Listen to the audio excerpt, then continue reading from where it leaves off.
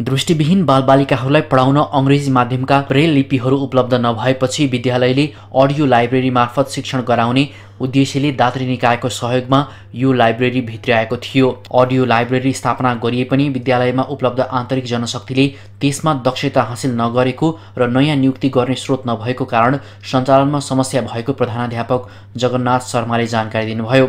Audio library प्रयोगमा आउन नसकेपछि दृष्टिविहीन बालबालिकालाई पठन पाठनमा समस्या भएको प्रधानाध्यापक शर्माले गुनासो गर्नुभयो। यो लाइब्रेरी स्थापनाका लागि प्लान नेपालले सहयोग गरेको थियो। उपकरण सहयोग गरे पनि जनशक्ति नहुँदा सञ्चालनमा ल्याउन सकिएको छैन। अडियो लाइब्रेरी व्यवस्थापनका लागि प्लान नेपालले झन्डै चार लाख पचास हजारको सहयोग उपलब्ध गराएको छ।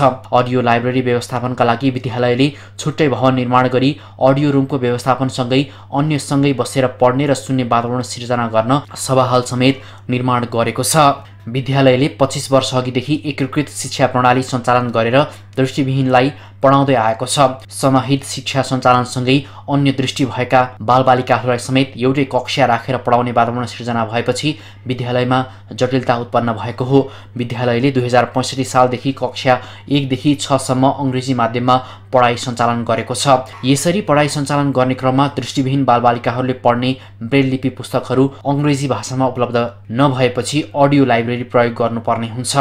लाइब्रेरी प्रयोगमा नआउँदा उनीहरू समस्यामा छन्।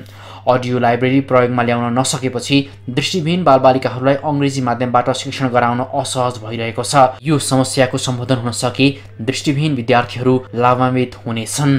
टिभी जर्नलिस्ट दुर्गा प्रसाद शर्माको रिपोर्ट।